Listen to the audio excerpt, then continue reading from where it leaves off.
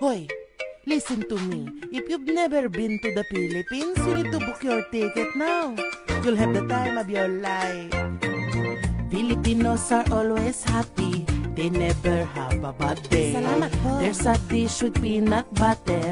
It is called kare-kare. Masarap. Also, it is made with shrimp paste. That is called bagoong. Nobody makes it better than my ninong. In the Philippines, in the Philippines, it is more better. We have good weather, just believe me. We're always thankful for what we've got. Adobo simmering in the pot. We pray to Jesus and eat the pitos in the Philippines.